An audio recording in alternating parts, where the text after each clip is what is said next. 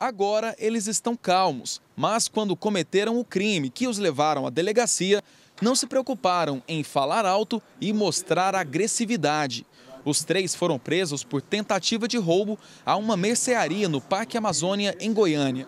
O roubo só não deu certo porque o proprietário do local reagiu ao assalto e o trio preferiu ir embora. Eles estavam nesse carro que não é roubado, mas também foi apreendido por ter sido usado no crime. Essa aqui foi a arma usada pelos criminosos na tentativa desse roubo. É um revólver calibre 32 de fabricação norte-americana da marca Smith Wesson. Provavelmente tem mais de 40 anos e, segundo a polícia, deve ter sido roubado de um colecionador de armas antigas.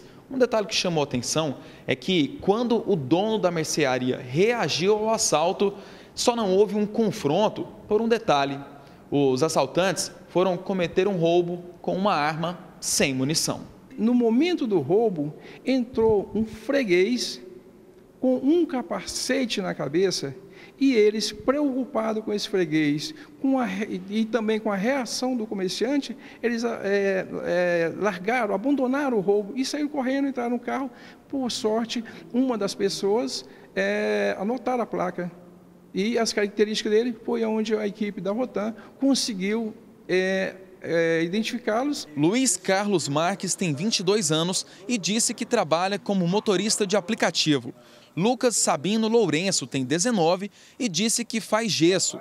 Já o sem camisa é menor de 17 anos. Segundo a polícia, nenhum dos três tem passagem. Vacilo da vida. Mesmo que o roubo não tenha sido concluído, eles foram autuados. A tentativa de roubo qualificado, que é o agravante, né? e mais a corrupção de menor, por, por envolver um menor na, na prática da ação criminosa.